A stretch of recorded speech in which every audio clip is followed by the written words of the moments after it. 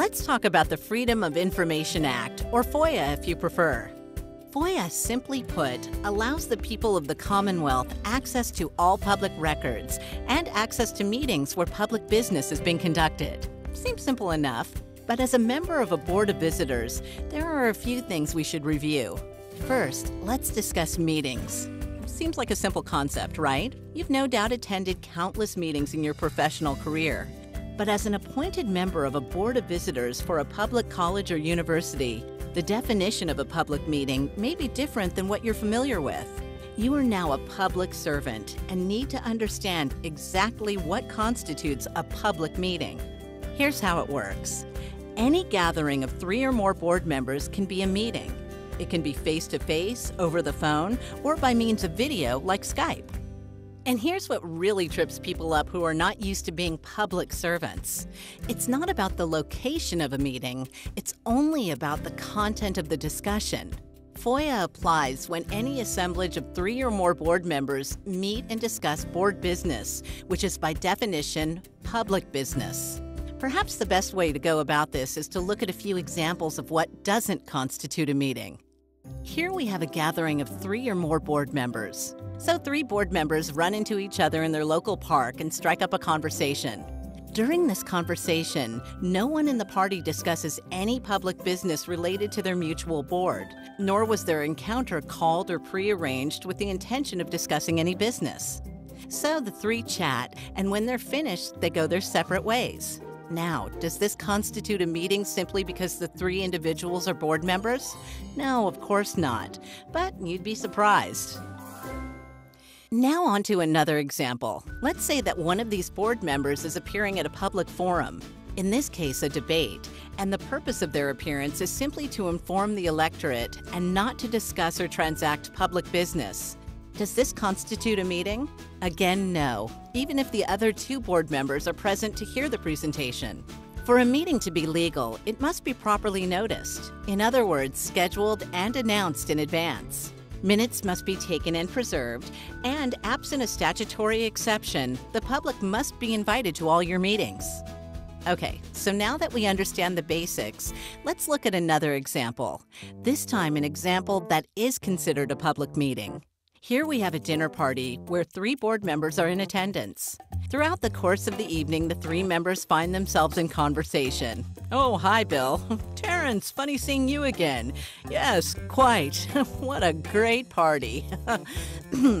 Anyways, as soon as any discussion or transaction regarding any public business is mentioned, this lovely, casual conversation amongst friends is now officially a meeting, and by default, the public has the right to be present at this meeting and to know about the content of this conversation. Due to the fact that this meeting was not previously noticed to the public, it is an illegal meeting, and the college or university those board members represent could face serious consequences. It's easy to see how a simple face to face conversation can quickly turn into an unlawful meeting. But what about technology? In this day and age, many of our communications are done over computers, mobile devices, and through other tech based means such as video chatting, text messages, and more. Let's start with e meetings. E meetings are allowed for boards of visitors under heightened procedural and reporting requirements. For example, a quorum must be physically assembled in one location, and remote meeting locations must be open to the public. Now, keep that in mind the next time you plan to participate while lounging at home in your PJs. What about email? We all use email on a regular basis. But can email constitute as a meeting? Yep. In fact, if three or more board members communicate simultaneously through email, this can be considered an illegal meeting. How often have you seen an interesting article and passed it on to colleagues? Pretty innocent, right? Now, let's say the subject of that article is tuition rates at colleges and universities, and you send it to your fellow board members. If one of those board members comments on the article as it pertains to the upcoming meeting in which you'll be setting tuition rates and hits reply all, guess what? You're having an illegal meeting. There is a solution to this particular dilemma. Send such communications through staff. They can collate comments and disseminate them without running afoul of FOIA. Oh, and don't hit reply all. In your capacity as a board member for a public college or university, think of reply all like um, a poisonous snake you don't want to mess with. Seriously, don't do it. You'll thank me later. Regardless of whether you use your home or office computer, text message, or other forms of social media, it is the content of the record, not the equipment used, which matters. It is possible to have a closed meeting, but just like any meeting, there are a few things you need to know. Closed meetings are allowed only as specifically authorized by FOIA or other law and requires a motion stating the purpose, the subject, and code cite.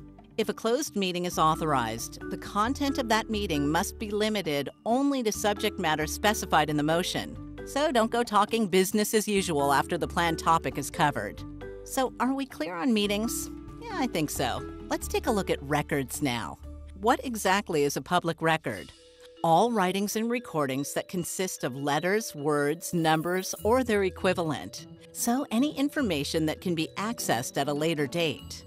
A record can exist in the form of handwriting, typewriting, printing, photostatting, photography, magnetic impulse, optical or magneto optical form, mechanical or electronic recording, as well as many other forms of data compilation. When in doubt, it's a record. Any information pertaining to public business on any of these mediums, no matter how it's stored, and regardless of physical form or characteristics, is considered a public record when prepared or owned by, or in the possession of a public body or its officers, employees, or agents. Simply put, when any public business is documented in any way, shape, or form, and is in the possession of a public body, it is officially a public record. Again, let me repeat when in doubt, it's a public record. And all public records are open to the public unless a specific exemption in law allows the record to be withheld. So, what does this all mean? As an appointed member of a board of visitors at a public college or university, you are a public servant. And as part of a public body, it's your responsibility to discuss public business in a public forum, and in doing so, reporting and documenting any discussion or transaction of public business.